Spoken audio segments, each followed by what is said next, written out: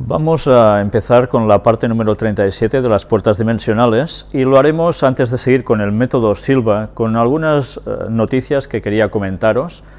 Esta es sobre la beata Josefa María de Santa Inés, que supongo que a la mayor parte de vosotros no os suena de nada, pero que evidentemente como beata tiene que ver con la Iglesia Católica y esta noticia nos habla sobre la vida de, de esta mujer, pero vamos directamente a ver una de sus particularidades, o varias de ellas.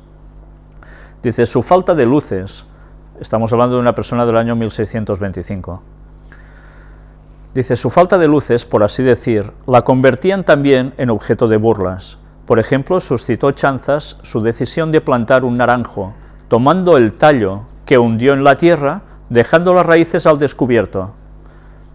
O sea, lo plantó al revés. Candidez, simplicidad, sea lo que fuere, el inocente corazón de Josefa aspiraba el perfume del amor divino.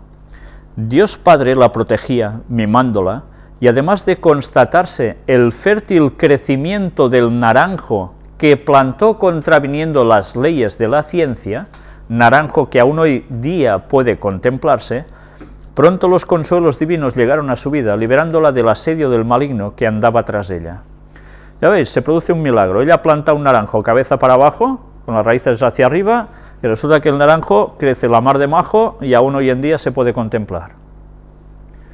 Yo no sé si realmente fue plantado así o no, o es lo que cuentan ellos, no lo sé. Pero bien, ahí está esto.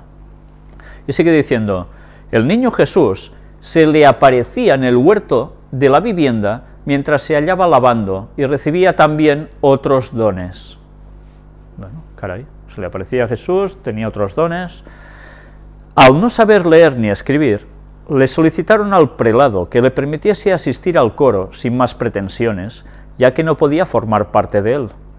El obispo dio su autorización, pero entonces las religiosas descubrieron en ella otro sorprendente prodigio, vieron que podía cantar las oraciones del Salterio maravillosamente sin desentonar y con una belleza admirable en su voz, con tan solo contemplar la estampa de un exeomo que divisaba desde el ángulo del coro en el que se situaba.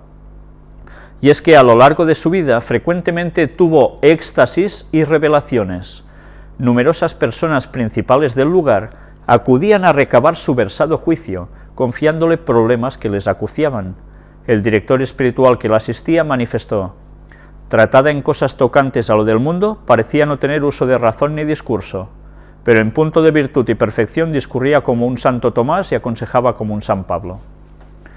Ya veis, una persona iletrada totalmente, pero que tenía estos dones que habla aquí, y que contemplando una estampa que ya veis, nos dice de que entonces entonaba a la perfección. Estuvimos hablando sobre las puertas dimensionales a través de las imágenes, cómo eso podía llegar a afectar a la persona y cómo Satanás abría una puerta por donde entrar. Pues bien, aquí tenéis una prueba más. En fin, que ya veis que vamos extrayendo mm, escritos sobre personajes del catolicismo de antaño, en el cual prácticamente todo se basa en manifestaciones que realmente son más espiritismo que no precisamente de las de Dios auténticamente.